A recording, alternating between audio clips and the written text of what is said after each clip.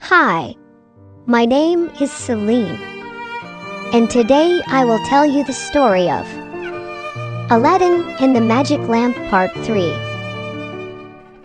In a quiet place, the vizier made his first wish. Genie, do as I say.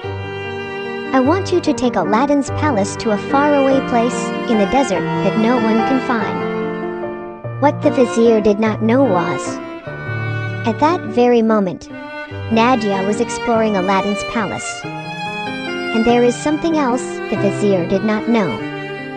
The genie thought the vizier had commanded to be taken away also, along with the palace.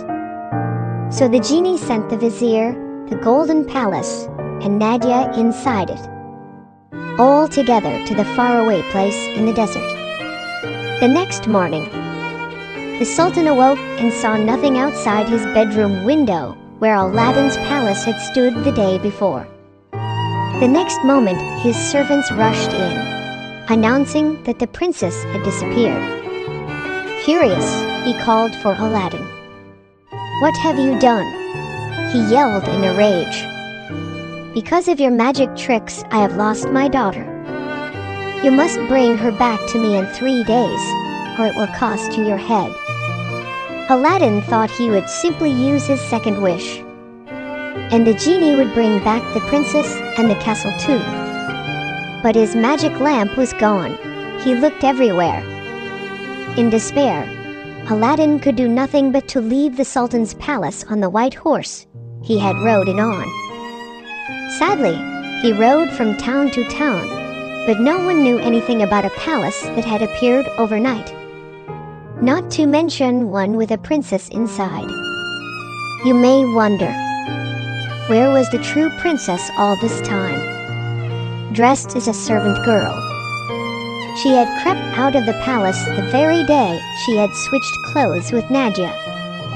Down to the marketplace she had gone, and there she met an aging merchant.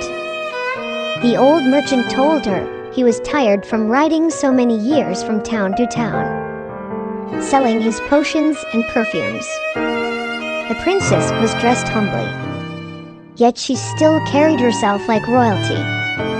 She gained the confidence of the old merchant, and when she offered to ride his camel train for him and share what she earned, he was delighted.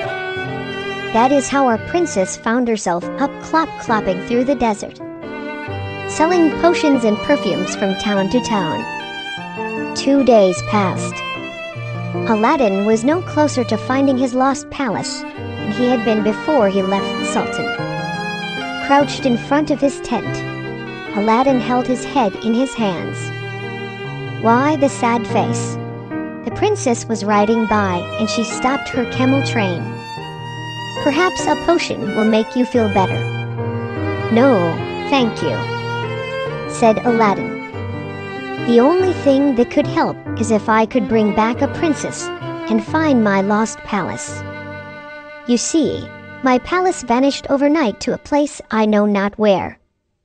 The princess was probably inside it. Oh, this is an impossible task. Maybe not, said the princess. In my travels, I heard of a palace in the desert that appeared out of nowhere, not long ago. Really? said Aladdin. He looked up. Do you know where? You think so? I could take you there. If we leave now, we could get there by morning. I'd be so grateful, said Aladdin. He had left all the jewel fruits with his mother except one. This he offered to the camel rider as payment.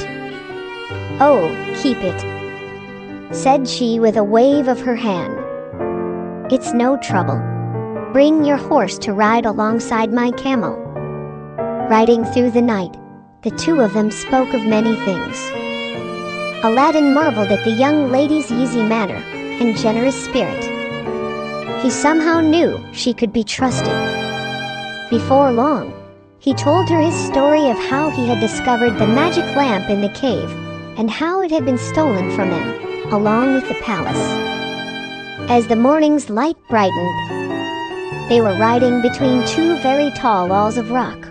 Rose-colored they were, with thin bands of white and blue. Suddenly, the rock walls ended, and they arrived at a clearing. Look, said the princess, pointing ahead. Is that it? Itis. Aladdin cried out with joy, recognizing his palace. I hope the princess is still in there, he said.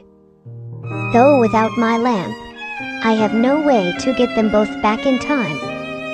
Just then Nadia, who had been carried away along with the palace, as you no doubt remember, was looking out the window at the new guests. To her surprise, she recognized the rider of the camel train as none other than her beloved former mistress. She waved at them both to come to the front door. The servants let in the guests. Nadia took them to the drawing room and shut the door. She said, Mistress, how glad I am to see you.